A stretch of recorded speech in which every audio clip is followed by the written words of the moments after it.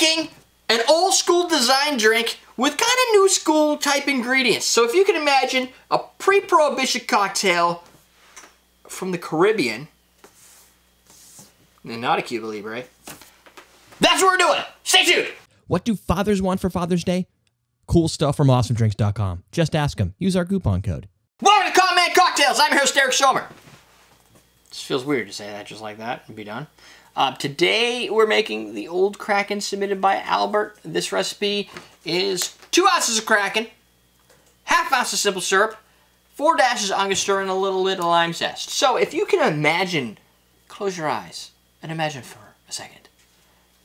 It's basically an old fashioned with rum, with a spiced rum. Uh, you could use a, a, little bit of um, maybe like a, a sugar cube instead of the simple syrup. Uh, it makes it more authentic to maybe the old fashioned or something. But I'm not gonna do that right now. I'm gonna take, so actually we're gonna build it like an old fashioned. So we're gonna take the sugar, we'll put that in first. So we'll do a half ounce of sugar. I'm building an old fashioned well, so I'm just gonna kind of wing it. And take that old fashioned, that old fashioned sugar, throw it right in the bottom. So you can build this in the glass. If you don't currently own a shaker because you just don't want to support AwesomeDrinks.com, then um, you could just make this cocktail pretty easy. And then you're going to take your Angostura bitters or your favorite aromatics and you're going to do four dashes. One, two, three, four. So the aromatics are really the big, the big deal in this drink. Because this has got your spices. So I, the, the, the trick with like a, a, a bourbon or a, a, whiskey is they don't have the fla they don't have the spiced flavors the um, that you get out of an Angostura, like the cloves and the and the barks and all that. So spiced kind of usually has a few of those. So what we're gonna do is we're just apparently gonna accent that with a little uh, little awesome fest in our mouse. Here we go. Two ounces. What I'm gonna do first, however, is add in a little ice. Just gonna do two cubes. The glass is probably going to be over the size of the drink, but I'll, i see a lot of old-fashioned served that way, with a little bit of a, a little bit of a overly large glass.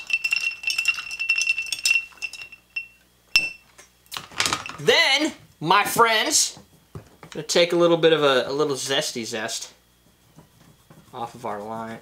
Lime. Yeah, lime. Here I thought I made I said lemon by accident. A little a little deep on that one. Carve it to look pretty. There. Now gonna bend it a little bit, get some of the uh, the pouches to express their oils onto the drink. Rub it around on the outside a little bit. Now this isn't part of the recipe as I see it, but this is not too abnormal for a, a uh, classic drink. And since we're kind of building it old Kraken, as in something to do with an older drink, I think that it kind of fits to just go through the motions of, of having built, whoa, and having built it in old style. All right, now, because you've put that oil around it and you express it in there, you get this really sweet lime smell to it.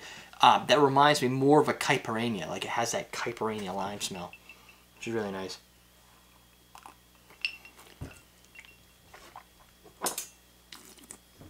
It's like a rum and coke without the coke. This is for the hardcore. Um, ooh, it's really flavorful.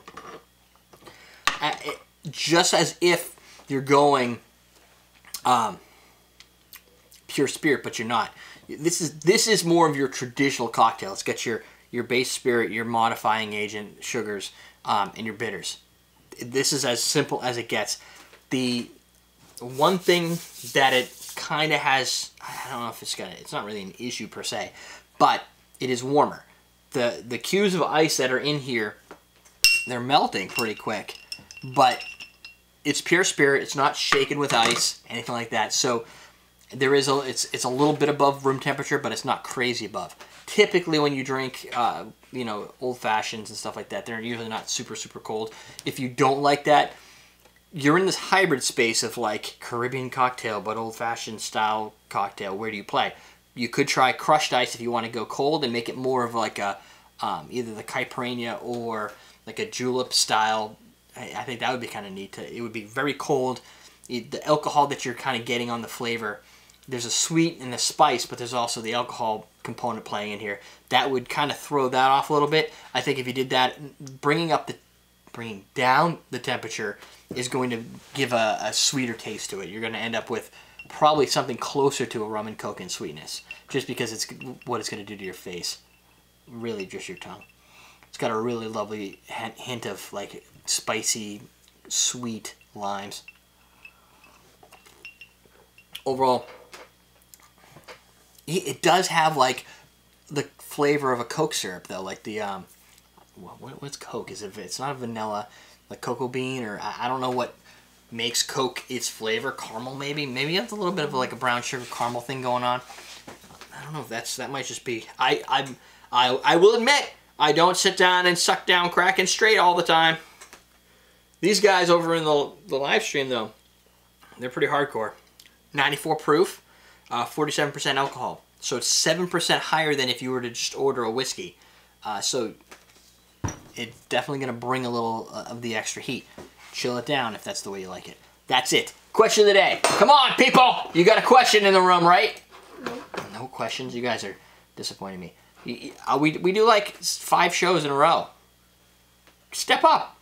Uh, if you could try, where, where, where we did that one. Uh, I'm gonna pull up a question here. Mm, that's kind of too girly.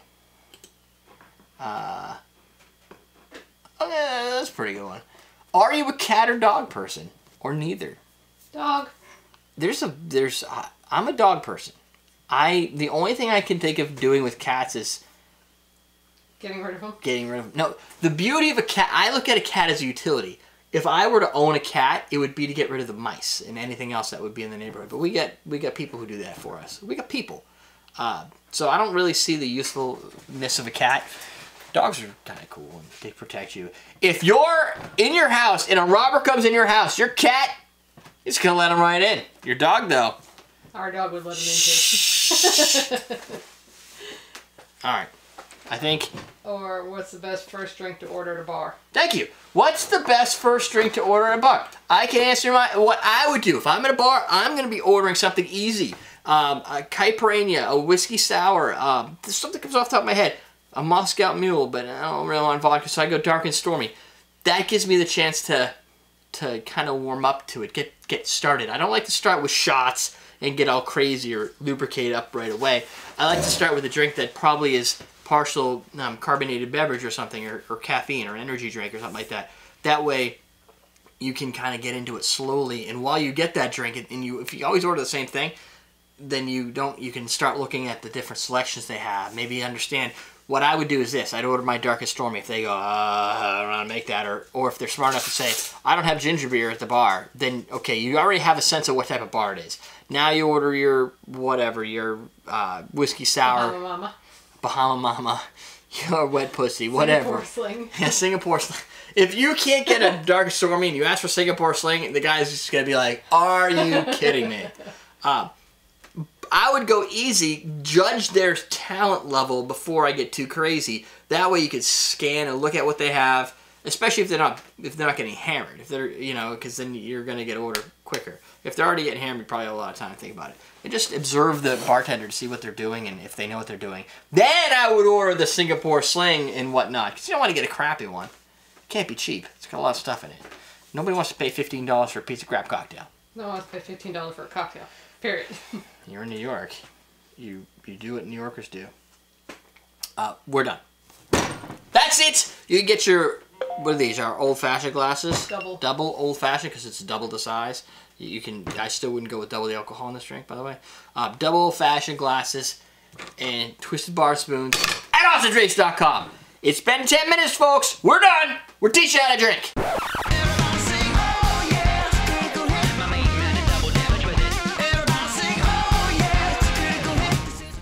Larger. Do I have any small straws? That's awesome! It's the size of the glass. Yeah, well, it can't reach the bottom because there's a there's ice cube. But you do get.